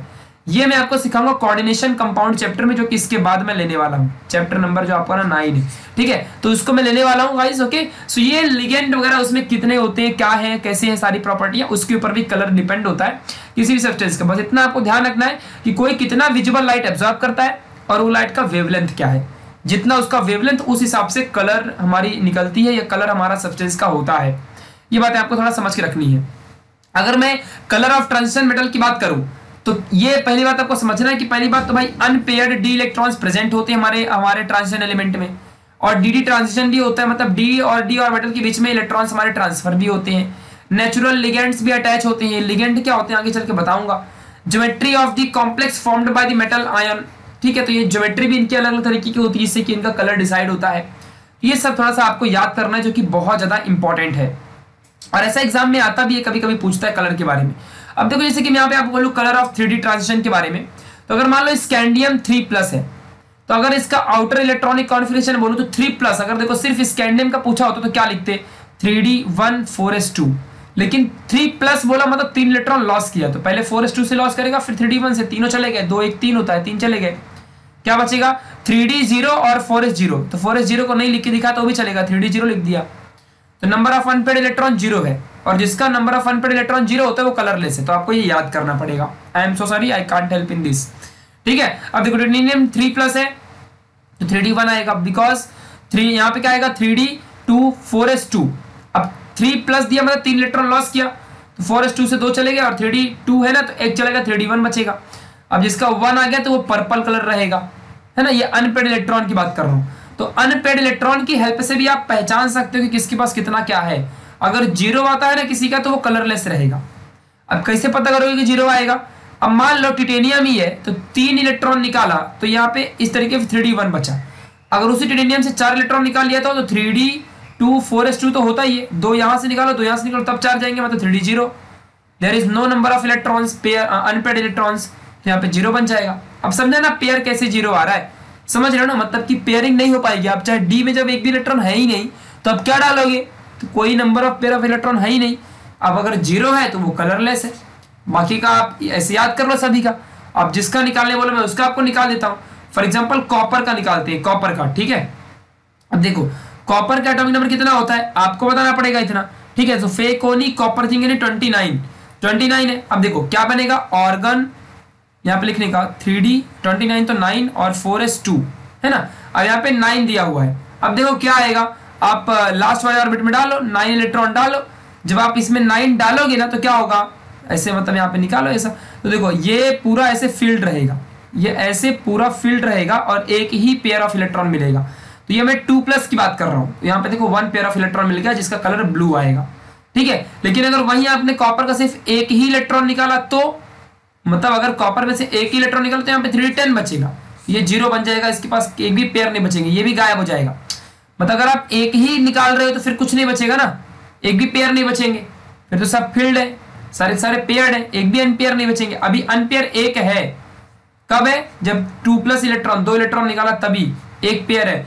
जब इस एक को भी निकाल दूँगा तो फिर कुछ पेयर नहीं बचेगा, कुछ अनपेयर नहीं बचेंगे, बाकी सब पेयर पेयर हो जाएँगे। Zero unpaired electron zero unpaired मतलब कलरलेस समझ गया? तो कैसे अनपेयर इलेक्ट्रॉन निकालते हैं, मैंने आपको सब समझा दिया है। ओके चलो, अब चलते हैं कैटालिटिक प्रॉपर्टियों की तरफ़। एग्जैक्टली कैटालिटिक प्रॉपर्टी क्या होती है किसी भी एलिमेंट की, हम ये जानते हैं। तो यार, जो कैटालिटिक प्रॉपर्टियाँ होती है ना तो कोई भी इलेक्ट्रॉन कोई भी सब्सटेंसेस कितना ऑक्सीडेशन और रिडक्शन कर सकता है? या फिर ऑक्सीडेशन रिएक्शन या रिडक्शन रिएक्शन में कोई कितना पार्टिसिपेट कर सकता है? वही हमारी प्रॉपर्टी होती है कैटालिटिक प्रॉपर्टी और ऐसी प्रॉपर्टी हमारे ट्रांजिशन एलिमेंट के पास भी होती है। मतलब ये भी ऑक्सीडेशन और रिडक्शन करते हैं। ऑक्सीडेशन मतलब लॉस ऑफ़ इलेक्ट्रॉन और रिडक्शन मतलब गेन ऑफ़ इलेक्ट्रॉन तो ये हमारे हमारे ट्रांजिशन एलिमेंट भी ऐसा परफॉर्म करते हैं। ओके अब देखो कैटलिटिक प्रॉपर्टी में क्या होता है ना, कि कभी भी एक बात आपको समझ के रखना है। बहुत ज़्यादा इंपॉर्टेंट है। यहाँ पे बहुत सारे ऐसे स्टेप्स इन्वॉल्व होते हैं ऑक्सीडेशन स्टेट को चेंज करने के लिए। जैसे iron cobalt nickel palladium platinum chromium जितने भी यहाँ पे एलिमेंट दिए हुए हैं, ये सारे एलिमेंट का अपना अपना ऑक्सीडेशन स्टेट होता है। इन सब, ये सभी के सभी ने क्या करते हैं? अपने अपने ऑक्सीडेशन स्टेट को चेंज करते हैं। उसके लिए इनके पास अलग अलग तरीके की कैटलिटिक प्रॉपर्टी होती है। लेकिन देखो हम यूज़ करते हैं निकल तो देखो निकल और प्लाडियम तो आपने सुना भी होगा। कि हमने कैटलिस्ट के फॉर्म में जब रिएक्शन करते हैं तो हम कैटलिस्ट के फॉर्म में निकल और प्लाडियम का इस्तेमाल बहुत ज़्यादा करते हैं। ठीक है, क्योंकि इनके पास अलग अलग तरीके की कैटलेटिक प्रॉपर्टी होती है मतलब रिएक्शन को कटलाइज करने की प्रॉपर्टियाँ होती हैं। बस यही बातें और कुछ नहीं। अगर एग्ज़ाम्पल के लिए बोलूँ, जैसे कि देखो मैग्नीशियम ऑक्साइड है। मैग्नीज ऑक्साइड है। तो क्या होगा यहाँ पे X is a catalyst for decomposition of के है ना? ऐसे manufacture of ammonia by Haber's process आपके पास यहाँ पे जो देखो मोलिब्डेनम यानी कि एमओ है ये, और ये आयरन है इज़ यूज़ एज कैटलिस्ट फिर ऐसे हमारा यहाँ पे थोरियम और कोबाल्ट ये एलॉय है जब हम इसको फिशर ट्रॉप्स प्रोसेस से बनाते हैं। तो यहाँ पे हमारा गैसोलिन बनता है ना जब तभी हमारा यहाँ पर भी हमारा ये क्या होता है कैटलिस्ट के फॉर्म में यूज़ करते हैं। तो इस तरीके से इनकी वेरियस टाइप की कैटलेटिक प्रॉपर्टियाँ होती हैं। अलग अलग ये रिएक्शन परफॉर्म करते हैं, जैसे कि आयरन कोबाल्ट निकल ये बीच बीच में जो तो ट्रांजिशन एलिमेंट कैटलेटिक प्रॉपर्टी वाले भी होते हैं। मतलब ये they can use as a catalyst also they can use as a catalyst also मतलब कैटलिस्ट के फॉर्म में भी हम इनका इस्तेमाल कर सकते हैं, जो कि बहुत ही ज़्यादा अपने आप में एक इंपॉर्टेंट मतलब कंडीशन है। ओके नाउ अब हम बढ़ते हैं फॉर्मेशन ऑफ़ इंटरस्टिशियल सब्सटेंसेस अब देखो इंटरस्टिशियल क्या होता है? पहले ये जान लो। मान लो कि सामने कोई भी एक सब्सटेंस है। और इसका प्रॉपर तरीके से स्ट्रक्चर ऐसे बना हुआ है। ठीक है, इसका प्रॉपर स्ट्रक्चर आपका इस तरीके से आपका बना हुआ है। अब इसके बीच मान लो ये पूरा क्या है? मान लो कॉपर का है, ठीक है। अब इसके बीच में यहाँ पे कहीं इंटरस्टिशियल स्पेस में इंटरस्टिशियल स्पेस क्या होता है कि दो पार्टिकल्स के बीच में जो स्पेस है तो कहीं ना कहीं इंटरस्टिशियल स्पेस में जब कोई अनदर सब्सटेंस आ जाए और उसके वजह से एलॉय हमारा क्रिएट हो जाए मतलब कॉपर के साथ साथ कोई भी, जैसे कि ओ OH आ गया मतलब कोई भी आ जाए, यार, मैं तो ऐसे एग्ज़ाम्पल ले रहा हूँ। कोई भी यहाँ पे आ जाए तो उससे जो नया कंपाउंड बनेगा, उसे हम कहेंगे इंटरस्टिशियल कंपाउंड समझ रहा है? तो यही हमने चैप्टर नंबर वन में भी सीखा है। जब हम लैटिस का फॉर्मेशन करते हैं, तभी इंटरस्टिशियल स्पेसेस में क्या होता है कि अलग अलग तरीके के मतलब सब्सटेंसेस आके फिक्स हो जाते हैं। For example small small atom like hydrogen carbon and nitrogen ये ट्रैप्ड होते हैं इंटरस्टिशियल स्पेसेस में। ट्रैप होते हैं और नया नया क्रिस्टल लैटिस बनाते हैं। ऐसे सब्सटेंस को इंटरस्टिशियल कंपाउंड भी कहा जाता है। ऐसे अगर मैं एग्जांपल बोलूँ तो जो स्टील है स्टील या फिर कास्ट आयरन ये बेस्ट एग्जांपल होते हैं हमारे आयरन के और कार्बन से बने हुए एक इंटरस्टिशियल कंपाउंड में। फॉर एग्ज़ाम्पल आयरन तो रहता ही है ऐसे ऐसे बट उसके बीच में ना कभी कभी कार्बन भी आ जाता है। जब कार्बन आता है तो ये हमारा स्टील बनाएगा या तो कास्ट आयरन अगर एक बात आपको इंटरेस्टिंग फैक्ट बता दूँ जैसे कि देखो, आयरन हमारा क्या होता है, उसको अपना किधर भी थोड़ा बहुत तो अगर टेम्परेचर देते हो तो वो एक बार ना क्या होता है, जब पिघलने लगता है तो फिर लाल लाल हो जाता है हमारा पूरा आयरन। और उस हिसाब से हमारा जो आयरन है, वो क्या होता है, उसका मतलब बहुत ही हार्ड होता है। अगर आप चाहते हो कि वो और हार्ड बन जाए तो आप उसमें ना कार्बन मिलाओ। जितना कार्बन मिलाओगे ना तो उसकी जो टीनासिटी की प्रॉपर्टी है, यानी कि लूज होने की डक्टिलिटी होने की, है ना इधर उधर मूव करने की प्रॉपर्टी वो और कम होती है रिड्यूस होती है। यानी वो और हार्ड बनता है। और हार्ड बनते बनते एक टाइम पे स्टील बन जाता है। और steel is hardest substance in the universe ऐसा माना जाता है। यूनिवर्स तो नहीं कह सकते अर्थ में। बाकी, आप जानो कौन सा है आप गूगल कर लेना, मुझे इतना जीके का आइडिया नहीं है। तो स्टील बहुत ही हार्ड होता है, इतना आपको समझ के रखना है, जो कि आयरन में ही कार्बन मिलाने से बन जाता है। अब इसकी मैं कुछ इंडस्ट्रियल कंपाउंड की प्रॉपर्टी के बारे में बता देता हूँ कि ये बहुत हार्ड होते हैं और good conductor of heat and electricity भी होते हैं। बिकॉज़ मेटल से ही बनते हैं ना। इसके लिए। अगर मैं केमिकल प्रॉपर्टी की बात करूँ तो ये पेरेंटल मेटल जैसे ही इनकी केमिकल प्रॉपर्टियाँ होती हैं और इनका मेल्टिंग पॉइंट जो होता है वो बहुत ही ज़्यादा हाइयर होता है प्योर मेटल से भी। इनकी डेंसिटी की अगर बात करूँ जो कि मास अपॉन वॉल्यूम होती है ना, वो डेंसिटी की बात करूँ तो ये बहुत ही पेरेंटल मेटल से बहुत कम होती है और ये कभी कभी तो केमिकली इनर्ट भी होते हैं और इतना हार्ड होते हैं जितना कि डायमंड इतना हार्ड ये हमारे इंटरस्टिशियल कंपाउंड कभी कभी बन जाते हैं। ये सारी चीज़ें आपको समझ के रखनी है। नाउ गाइस अब हम पढ़ते हैं अगले टॉपिक की तरफ़ फॉर्मेशन ऑफ़ एलॉयज में। अब देखो फॉर्मेशन ऑफ़ एलॉय में हम टॉपिक को समझेंगे अभी बहुत ही बेटर कंडीशन के तरीके से। अच्छे तरीके से हम इसको भी समझ लेते हैं। तो फॉर्मेशन ऑफ़ एलॉय में क्या है कि यार देखो, क्या होता है ना कि एलॉय वो चीज़ है, जैसे कि मान लो कोई एक सब्सटेंस है। अब उसमें कोई और कुछ आप आके मिला के बना दो तो वो आपका एलॉय बन जाएगा। ठीक है? जो एलॉय होता है वो दो टाइप का होता है। एक होता है फेरस एक होता है नॉन फेरस एलॉय ठीक है? अब इनके बारे में समझते हैं एग्जैक्टली दोनों क्या है। फेरस एलॉय और नॉन फेरस एलॉय जो फेरस एलॉय होता है ना, इसमें क्या होता है कि जो भी मेटल रहेगा वो सिर्फ़ आयरन रहेगा। आयरन का ही मिक्सचर रहेगा। इसके ऊपर जो परसेंटेज होगा वो आयरन का बहुत ज़्यादा रहेगा। और अगर आप दूसरा भी डालना चाहो तो निकल या स्टील का डाल सकते हो। क्योंकि स्टील भी तो कार्बन से ही बनता है अपने आयरन से ही बनता है। तो कुछ भी रहे। अब देखो फॉर एग्ज़ाम्पल अगर मान लो आप आयरन से स्टील बनाते हो तो अगर मान लो हंड्रेड परसेंट आयरन आपने लोहा ले लिया है लोखंड तो उसमें टू परसेंट ही आपका कार्बन होगा। तो नाइनटी एट परसेंट तो आपका प्योर क्या है? आपका आयरन ही है। तो उससे हमारा क्या बन गया? स्टील बन गया। तो भला ये भी कोई सब्सटेंस है? तो ये हमारा, भला ये भी कोई हमारा एलॉय है? नहीं, क्योंकि टू परसेंट ही तो यूज़ किया है। तो ये हमारा क्या बनेगा? फेरस टाइप का मिक्सचर फेरस टाइप्स का एलॉय ठीक है बट नॉन फेरस क्या है? नॉन फेरस वो कहलाता है जिसमें ना बहुत ज़्यादा ही मिक्सिंग होती है। मतलब अगर मान लो आपने कोई आयरन लिया तो 50 परसेंट मिक्सिंग रहेगी अदर सब्सटेंस की। तो ये नॉन फेरस एलॉय होते हैं। मतलब जिन एलॉय में आप ट्रांजिशन मेटल्स को बहुत ज़्यादा ही अदर देन आयरन या किसी मतलब जिसकी देखो फेरस मतलब होता है आयरन ठीक है? तो जब आप कुछ ऐसा एलॉय बनाओ जिसमें आयरन का इस्तेमाल ही ना हो, अब भाई कॉबाल्ट का बना लो कॉपर का बना लो, बट आयरन मत लेना। आयरन नहीं लोगे तो फिर वो नॉन फेरस कहलाएगा। और अगर आयरन लेते हो तो वो फेरस कहलाएगा। समझ गया? तो बस ये कंडीशन आपको समझनी है। फॉर एग्ज़ाम्पल ब्रास है। अब देखो स्टील क्या था? उसमें आयरन था। बट ब्रास में नहीं होता।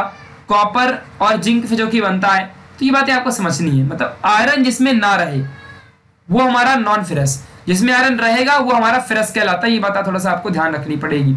ओके यूजेस ऑफ़ एलॉय की बात करूँ, जैसे कि देखो, अभी हमारा ब्रॉन्ज है। ये एक एलॉय है। किससे बनता है? कॉपर से और टीन से बनता है। ठीक है? और एक करोजन इसमें जल्दी होता नहीं रजिस्टर करता है। Medal statues, trophy. अभी statue of unity basically bronze या कॉपर से ही बनी हुई है। है ना? ये बात आपको समझ के रखनी है।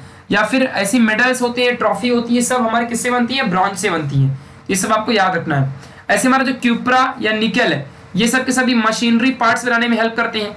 स्टेनलेस स्टील जो है हमारा एक कंस्ट्रक्शन या फिर आउटर फ्यूज लैग में या अल्ट्रा हाई स्पीड वाले एयरक्राफ्ट में, है ना? जो हमारे मतलब एयर फोर्सेस के क्राफ्ट होती हैं, उनमें भी हमारा इस्तेमाल होता है अलॉय का। ठीक है? ये बातें थोड़ा सा आपको समझ के रखनी, जो कि बहुत ज़्यादा इंपॉर्टेंट है अपने आप। तो गाइस अभी हम आगे बढ़ते हैं। अब हम क्या सीखने वाले देखो, जैसे कि, देखो, हमारा जो पहला वाला थ्री सीरीज़ था। थ्री सीरीज़ में क्या था? कि हमारे पास मैग्नीज और क्रोमियम दो एलिमेंट थे। अब मैग्नीज और क्रोमियम से बनने वाले कौन से ऐसे कंपाउंड है, उनके बारे में सीखते हैं। तो आपने potassium manganate potassium permanganate इन सभी का नाम तो सुना ही होगा, है ना? या फिर इसका नाम पोटेशियम क्रोमेट है, इसका नाम पोटेशियम पर मैग्नेट है, ठीक है? तो इनका तुमने नाम सुना ही होगा। ये क्रोमियम और मैग्नीज, जो हमारा मतलब क्रोमियम है और जो हमारा मैग्नीज है, यानी एम इनसे हमारे बनते हैं मिला करके ये दोनों एलिमेंट। ये हमारा पोटेशियम मैग्नेट है, ये हमारा पोटेशियम क्रोमेट है डायक्रोमेट जिसे आप कह सकते हो, ट्राइक्रोमेट टेट्राक्रोमेट ऐसे बनते हैं। तो ये फ़िलहाल यहाँ पे क्रोमियम हमारा क्रोमियम हमारा दो है तो मतलब ये डायक्रोमेट है। कैसे बनता देखते हैं। तो पोटेशियम पर मैग्नेट की पहले बात करते हैं। पोटेशियम पर मैंगनेट, यानी के कैसे बनेगा? तो पहला देखो यहाँ पे केमिकल ऑक्सीडेशन प्रॉपर्टी अब देखो ये सब आपको याद करना पड़ता है। देखो हम इसमें यूज़ करते हैं पोटैश पोटेशियम हाइड्रोक्साइड का ही दूसरा नाम है पोटैश ठीक है? ओके अब देखो, क्या होता है ना कि हम ना मैग्नीज डाइऑक्साइड यानी MnO2 मैग्नीज डाइऑक्साइड को बहुत खतरनाक तरीके से हीट करते हैं के यानी पोटैश के साथ। जब इसको हीट करते हैं तो ऑक्सीडाइजिंग एजेंट हमारा के का हम इस्तेमाल करते हैं।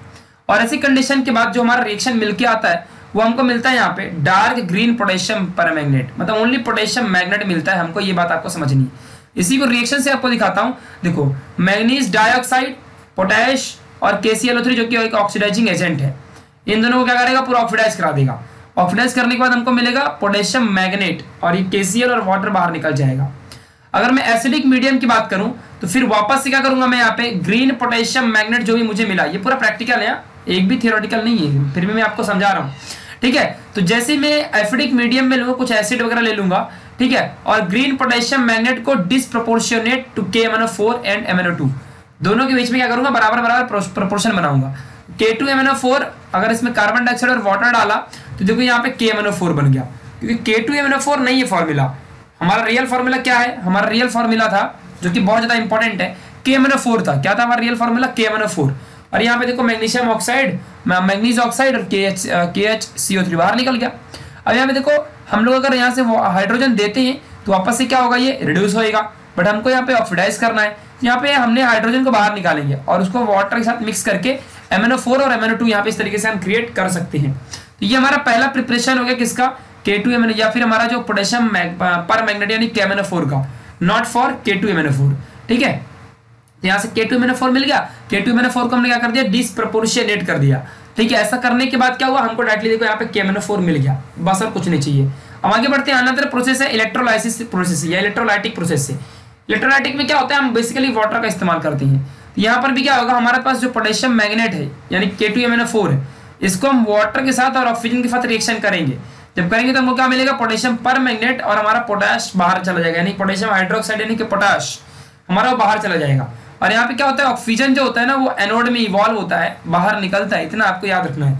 ठीक है, क्योंकि ये प्रैक्टिकल रिएक्शन है प्रैक्टिकल चीज़ें आपको थोड़ा समझना है। कलर की बात करूँ तो डीप पर्पल या ब्लैक कलर्ड इनका मतलब सारा चीज़ें क्रिस्टल वगैरह रहते हैं, पूरा ब्लैकिश होते हैं। आप प्रैक्टिकल में देखोगे ना तो आपको पोटेशियम परमानेंट थोड़ा सा मतलब पर्पल या ब्लैक में ऐसे आपको दिखाई देगा। आप चाहे तो करके देख लेना डीप पर्पल और ब्लैक ऐसे ही आपको दिखेगा। चाहे तो आप देख लेना आपके प्रैक्टिकल लैब में जाके कहीं से भी। ठीक है, चलो, अगला देखते हैं। 8.7.2 टॉपिक है केमिकल प्रॉपर्टीज़ ऑफ़ केमेनोफोर अब केमेनोफोर डन हो गया, हमारे लिए सिलेक्ट हो गया। क्यों? पोटेशियम परमैंगनेट एक ऑक्सीडाइजिंग एजेंट है। पहली बात। दूसरी बात इसे कलर वगैरह फेमिलियर है और ये बहुत ज़्यादा इंपॉर्टेंट भी है। तो यहाँ पे अभी क्या होने वाला है? एसिडिक मीडियम में पहले हम चेक करते हैं केमेनोफोर के बारे में। ठीक है? तो बहुत ज़्यादा इंपॉर्टेंट भी है ना अभी। देखो, इसको कैसे क्या करना है? ऑक्सीडाइजिंग रिएक्शन में क्या करते हैं? केमेनोफोर का एसिडिक मीडियम में। देखो, पहला क्या करेंगे? Oxidation of iodide to iodine अब देखो, यहाँ पे हमारे सामने क्या दिया हुआ है? हमारे सामने यहाँ पे टेन टाइम्स ऑफ़ हमारे सामने यहाँ पे आयोडाइड दिया है। ऐसा रिएक्शन किया 16 टाइप्स ऑफ़ हाइड्रोजन डाला MnO4 डाला और यहाँ पे देखो आयोडीन बाहर निकाल दिया। दिस इज़ ऑक्सीडेशन रिएक्शन अगला oxidation of Fe2 plus to Fe3 plus यहाँ पे क्या करेंगे? MnO4 five times of Fe2 plus eight ये तो बैलेंस किया। तो आपको याद करना पड़ेगा ना यार। अब कैसे रिएक्शन कोई भी करवाएगा? आपको याद करो, नहीं तो हो गया, फिर क्या कह सकते हैं? तो यहाँ पे क्या होगा? अभी आयरन से, यहाँ पे दो इलेक्ट्रॉन तो लॉस किया था। अब बोल रहा है एफ़ थ्री प्लस बनाओ, यानी एक इलेक्ट्रॉन और लॉस करो तो यहाँ पे एफ़ थ्री प्लस बन जाएगा। Oxidation of S to S में क्या करोगे? तो एस टू एस में क्या करोगे? टू एच प्लस और एस टू माइनस ये हो गया हमारा oxidation of S to S इस तरीके से आपको सारा रिएक्शन करना है। अगर मैं न्यूट्रल कंडीशन की बात करूँ या वीकली अल्कलाइन की बात करूँ तो यहाँ पे हम क्या करेंगे? यहाँ पे हम आयोडाइड से आयोडेट बना सकते हैं। नॉट आयोडीन बनेगा, ठीक है? तो आयोडेट बनेगा। आईओ थ्री माइनस ये हमारा आयोडेट का फॉर्मूला है। और बाकी तो M N O four S two O आए दो two M N O two two O H minus ऐसे निकल जाएगा। अगर मैं थियोसल्फेट की बात करूँ, यानी कि S two O three two minus ये हमारा एक रिएक्शन ये हमारा कंपाउंड है थियोसल्फेट इसका रिएक्शन करूँगा अगर eight M N O four S two O से, हमें मिल जाएगा, देखो यहाँ पे इस तरीके से एसओ फोर टू माइनस और टू एच माइनस ये मिल जाएगा। अगर मैं मैंगेनस सॉल्ट यानी कि एमएनओ टू से करूँ, है ना? मैंगेनस सॉल्ट ही हमारा एमएनओ टू होता है। तो अगर करता तो देखो यहाँ पे एम एन टू प्लस और देखो एम फोर, इस तरीके से हमारा यहाँ पे रिएक्शन होगा और हमको मिलेगा मैग्नीशियम या मैग्नीज ऑक्साइड। बार बार मैग्नीशियम आ रहा है। वो एम एन मीन्स मैग्नीज है। ठीक है तो मैग्नीज ऑक्साइड और हमारे यहाँ पे चार हाइड्रोजन मॉलिक्यूल बाहर निकल जाएँगे। तो इस तरीके से हमारा यहाँ पे रिएक्शन होता है जो कि बहुत ही आसान आसान और चिंदी चिंदी होती है। अगर मैं यूजेस की बात करूँ तो ये बहुत इंपॉर्टेंट है। पहली बात तो ये इसका यूज़ एंटीसेप्टिक के फॉर्म में होता है। अनसेचुरेशन टेस्ट में भी इसका इस्तेमाल करते हैं। रिड्यूसिंग एजेंट के फॉर्म में भी इसका इस्तेमाल होता है। वॉलेंट्री के लिए। और हलाइड्स को डिटेक्शन करने के लिए भी, या एनालिसिस करने के लिए भी। ऑक्सीडाइजिंग एजेंट तो बहुत पावरफुल है भाई। जितने भी ऑक्सीडेशन रिएक्शन हमने हेलोजन डेरिवेटिव में देखे थे अल्कोहल फिनॉल सीथर में देखे, हम जितने, हमने पूरा ऑर्गेनिक खत्म कर दिया है। पूरे ऑर्गेनिक में जहाँ जहाँ भी ऑक्सीडेशन हुआ है ना, हमने पोटेशियम परमानेंट यानी कि केवन का इस्तेमाल किया ही किया है। ये बहुत ही खतरनाक तरीके से ऑक्सीडाइजिंग एजेंट भी होता है। कैसे बनता है मैंने आपको बता दिया। अब देखो K two C R two O seven preparation इसका देख लेते हैं। पोटेशियम डाइक्रोमेट का। और पोटेशियम डाइक्रोमेट के लिए क्या होता है, ये पहली बात तो पाउडर्ड क्रोमाइट के फॉर्म में इसका इस्तेमाल होता है। सोडियम कार्बोनेट से इसका रिएक्शन करेंगे। सोडियम कार्बोनेट और देखो यहाँ पे हमारे पास क्या है पावर्ड क्रोमाइट इसका रिएक्शन करेंगे तो हमें two N A two C R O four ये मिल जाएगा और बाकी तो एल्यूमिना और कार्बन डाइऑक्साइड बाहर जाएँगे। हमको यहाँ देखो सोडियम क्रोमेट जो मिला है, इसी का रिएक्शन हम एस टू एस फोर से करवाएँगे। एस टू एस फोर से करवाते ही हमको यहाँ पे देखो क्या मिलेगा N A two C R two O seven ठीक है, इतना आपको समझ के रखना है, जो कि सोडियम कार्बोनेट है। Sodium dichromate sorry sodium dichromate यानी पोटेशियम डाइक्रोमेट एक ही बात होती है ना? तो यहाँ पे आपको सोडियम डाइक्रोमेट मिल जाएगा। अगर आप चाहो तो एन के जगह में के का भी इस्तेमाल कर सकते हो इट्स योर चॉइस एन यानी कि जो सोडियम है, उसके जगह में तुम हर जगह यहाँ पे के के ले लो। के ले लोगे तो आपका काम बन जाएगा यहाँ पे के ले लो। ठीक है? तो कोई टेंशन नहीं उससे। आप चाहे तो कोई भी लेके सॉल्व कर सकते हो। अगर मैं केमिकल प्रॉपर्टी की बात करूँ K two C R two O seven की तो बहुत इंपॉर्टेंट है। यहाँ पे क्या होता है ऑक्सीडेशन स्टेट जो होता है वो वेरी करता है हमेशा। और आप देख सकते हो कि जो हमारा आई है यानी कि आयोडीन गैस हमारा बाहर लिबरेट होती है। देखो यहाँ पे लिबरेट हो रही है। और K two C R two O seven यहाँ पे सिक्स पोटेशियम हाइड्राइड और S two S O four को कंबाइन करके यहाँ पे के टू एस ओ फोर बनाता है और C R two S O four three ऐसे हमारा क्रिएशन करता है। और जो रिएक्शन होता है ना इसमें जो हमारा हाइड्रोजन सल्फाइड है इसका पार्टिसिपेट होता है ऑक्सीडाइज होता है पार्ट बाय पार्ट मतलब एक एक के बाद एक एक के बाद यहाँ पे क्या होता है इसका आ, मतलब एक अच्छे तरीके से कॉम्बिनेशन होता है। और यहाँ पे हमारा पोटेशियम डाइक्रोमेट बन के निकलता है, ठीक है? तो पोटेशियम डाइक्रोमेट को अगर आप एस रिएक्शन करवाते हो और यहाँ पे हाइड्रोजन सल्फाइड देते हो तो आपको यहाँ पे पोटेशियम सल्फेट और सी आर टू सल्फेट यानी क्रोमियम सल्फेट और वाटर और आपका सल्फेट जो हमारा गैस सल्फ़र गैस वो आपकी बाहर निकल जाती है। तो इस तरीके से हमारा केमिकल प्रॉपर्टी होगी C A two R C R two O seven की। तो ये सारा एग्ज़ाम में आते हैं। अब फ़िज़िकल प्रॉपर्टी की अगर बात करो डी ब्लॉक में तो जितने भी डी ब्लॉक एलिमेंट है, सबके सब में लश्चर शाइनिंग होती है। और ये हार्ड हाई डेंसिटी होती है। High melting point and boiling point होता है। Good conductor of electricity thermal conductor of electricity और बहुत ज़्यादा टेंसाइल और मेलिएबल भी होते हैं। टेंसाइल मतलब कितना खींच सकते हो उतना। तो ये डी ब्लॉक है हमारे मेटल के बारे में। ऐसी बात करूँ तो यहाँ पे आप लास्ट भी देख लो केमिकल प्रॉपर्टी डी ब्लॉक जितने भी रहते हैं, ये इलेक्ट्रो पॉजिटिव बहुत होते हैं। बहुत ज़्यादा इलेक्ट्रो पॉजिटिव होते हैं। और ये वेरिएबल वैलेंसी को भी एग्जिबिट करते हैं। फॉर एग्ज़ाम्पल आयरन आयरन की वैलेंसी दो भी होती है, तीन भी होती है। तो ये वेरिएबल वैलेंसी हो गई। एक एलिमेंट की तो दो वैलेंसी मतलब वेरिएबल वैलेंसी और ये बहुत ही अच्छे गुड रिड्यूसिंग एजेंट होते हैं और ऑक्सीडाइजिंग एजेंट भी तो होते ही हैं। और इनसॉल्युबल मीन ऑक्साइड और हाइड्रोक्साइड हाइड्रोक्साइड मतलब ओ OH वाले में ऑक्साइड मतलब कि जैसे कि Na वाले में सोडियम ऑक्साइड ऐसे। कोबाल्ट कॉपर आयरन मेलिब्डेनम और यहाँ पे जिंक जो दिया हुआ है, ये सब के सब बहुत इंपॉर्टेंट बायोलॉजिकल मेटल हमारे बॉडी में भी होते हैं। कॉपर की तो बात नहीं कहूँगा बट हमारे पास आयरन तो होता ही है। और ये बहुत ज़्यादा इनके पास कैटलिटिक प्रॉपर्टी भी होती है कि एक दूसरे को कैटलाइज करने में भी हेल्प बहुत ज़्यादा करते हैं। ये सारी चीज़ें, इनकी प्रॉपर्टियाँ इस चैप्टर से आपको ज़्यादा याद करनी है। बाकी जो समझने जो पता मैंने आपको सब समझा दिया है। Thank you so much for watching this video my dear मिलेंगे ऐसे अगले वाले पार्ट में, और उसमें हम पढ़ेंगे बहुत अच्छी से अच्छी, मज़ेदार वाली बातें। तो स्टे ट्यून्ड और सब्सक्राइब कर लेना, और आप कमेंट बॉक्स में ज़रूर बताओ कि आपको कैसा लगा। ठीक है? और मुझे चाहो तो यहाँ पे फॉलो कर लो ये आईडी है और ये हमारा ईमेल एड्रेस है, अगर चाहो तो यहाँ पे कोई इंक्वायरी ले सकते हो। ठीक है? Bye bye